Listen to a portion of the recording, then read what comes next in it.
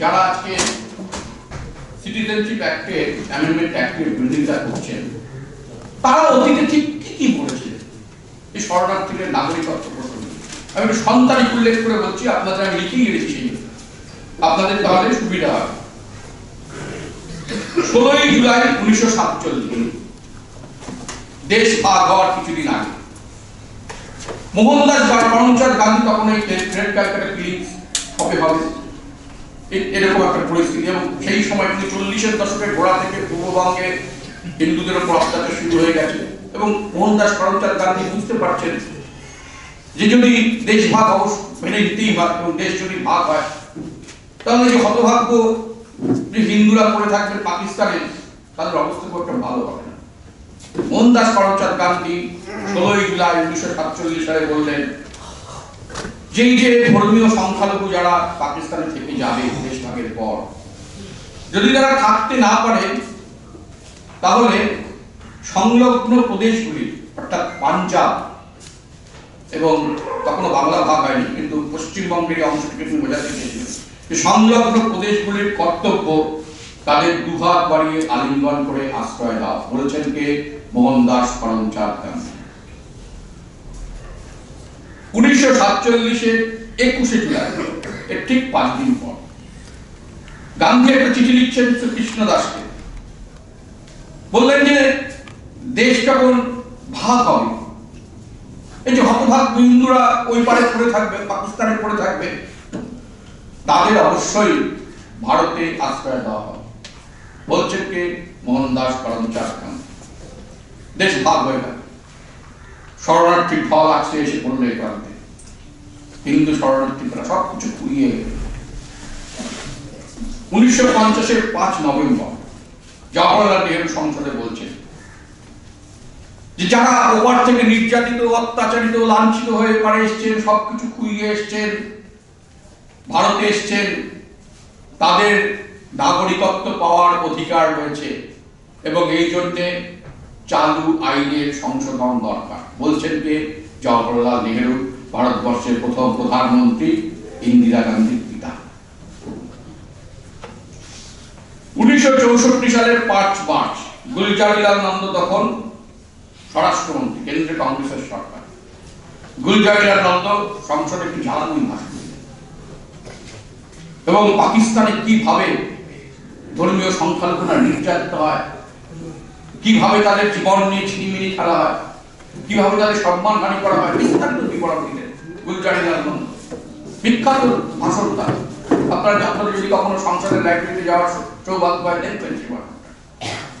দেওয়ার পর উনি বলছেন যে এই যে মানুষগুলো আসছে এদেশে, এরা তো কেউ, এরা তো মানে এই স্বইচ্ছায় আসছে না, বাধ্য হয়ে আসছে। বেঁচে থাকার তাগিদে আসছে। এই মানুষগুলোর জন্য ভারতের দরজা খোলা রাখতেই বললেন, গুলজারিলাল নন্দ কংগ্রেসের সরাসরি এবার উনিশ বামপন্থীদের কথা উনিশশো সত্তর সালের জুলাই মাসে ভূপেশ গুপ্ত, সিপিআই নেতা বাগ্মী ছিলেন নাম করা সাংসদ। ভূপেশ গুপ্ত ভূপেশ গুপ্ত সংসদে বললেন উনিশশো সত্তর সালের জুলাই মাসে তখন বাংলাদেশের স্বাধীনতা যুদ্ধ চলছে, প্রচুর মানুষ দলে দলে দলে দলে এখানে চলে আসছে কিন্তু শরণার্থীরা।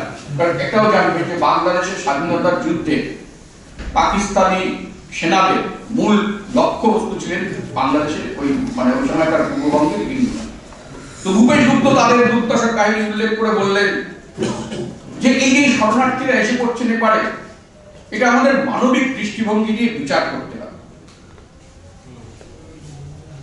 দু সালে আঠাশে ডিসেম্বর কলকাতা শহরে একটি জনসভা হলো, মতুয়াদের ডাক। সংগঠনের জনসভা সেখানে সবাই গেল। কংগ্রেস গেল, তৃণমূল কংগ্রেস গেল, তখন বামফ্রন্ট ক্ষমতায় বামফ্রন্ট গেল। বামফ্রন্টের মন্ত্রী ছিলেন গৌতম তিনি বললেন যে এই যে মতুয়ারা এখানে আছেন, এরা তো ওপার বাংলা থেকে নির্যাতিত, অত্যাচারিত হয়ে এসছেন এই মতুয়াদের নাগরিকত্ব অবিলম্বে প্রদান করতে হবে। বলেছেন কে?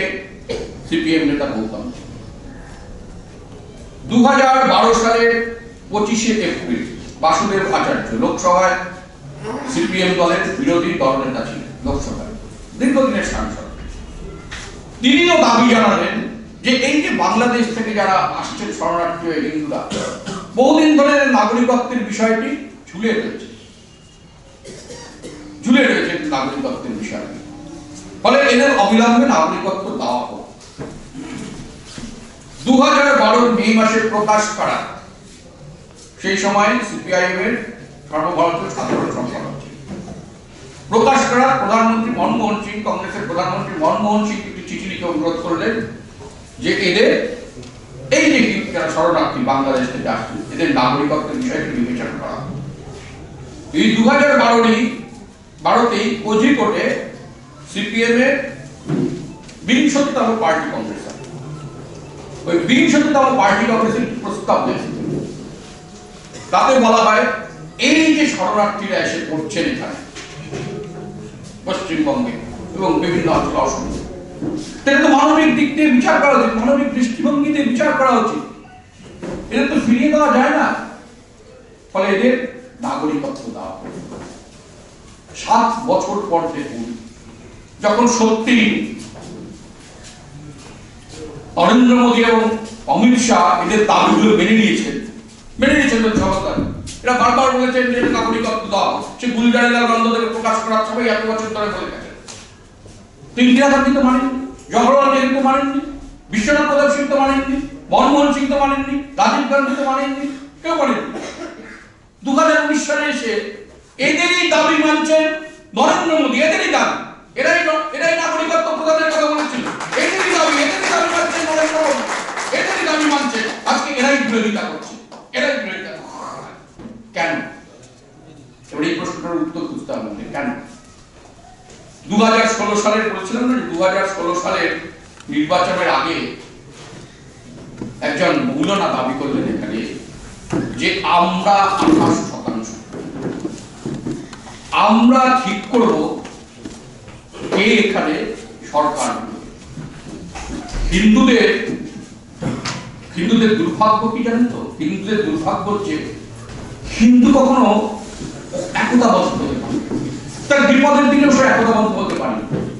স্বয়ং রবীন্দ্রনাথেরা লিখেছেন স্বামী শ্রদ্ধানন্দ নিবন্ধে যে মোহাম্মদ ঘড়ির আমল থেকে কত অত্যাচার হলো আমাদের পাশে কত আক্রমণ হলো, কত লড়াই করলাম তবু এক হতে পারলাম এবং এও বলেছিলেন রবীন্দ্রনাথ, যদি একতাবদ্ধ না হতে পারি, তাহলে আমাদের বিনাশ অবশ্যম্ভাবী। তা আমরা একতাবদ্ধ হতে পারলাম না। কিন্তু আঠাশ শতাংশের মতো সাতাশ শতাংশ একতাবদ্ধ হয়ে গেল তারা বরাবর একটা দিকে যে যাকে তারা পছন্দ করছে, সেই দিকে তারা ভোট দিয়ে পারল। এই যে যারা এতদিন নাগরিকত্ব চাই নাগরিকত্ব চাই বলে পার্টি কংগ্রেসে বিক্ষোভ করলেন, তারপর তার আগে যখন চৌষট্টি সাল নাগাদ দণ্ডকারণে দলে দলে উদ্বাস্তুদের দণ্ডকারণে পাঠাচ্ছে। কেন্দ্র সরকার তখন তার বিরোধিতা করে বললেন যারা পশ্চিমবঙ্গে পুনর্বাসন দিতে হবে, বামপন্থী মন্ত্রী রাম বামপন্থী নেতা রাম ছুটে গেলেন কাছে। তারা কেন বিরোধিতা করলেন? কেন বিরোধিতা করলেন মমতা বন্দ্যোপাধ্যায়? তিন দিন ধরে এখানে তাণ্ডব চলল, তিন দিন ধরে। এত কোটি টাকার সম্পত্তি নষ্ট হয়ে গেল উনি ঘটনা কেন বললেন? কারণটা কি?